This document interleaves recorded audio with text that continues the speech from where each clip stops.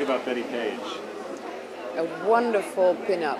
The bodies at, in those times, especially, were more voluptuous, and I relate much more to that. Do you see the good and bad in Bettie Page at the same time, the naughty and nice? Oh yes, definitely. Bettie Page had, the, yeah, it should be uh, good and bad. Otherwise, she's not a well-rounded woman.